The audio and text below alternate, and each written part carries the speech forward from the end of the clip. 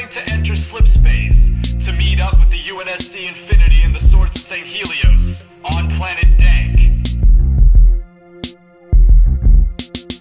As we move through slip space, you may hear strange sounds resembling music. This is completely normal.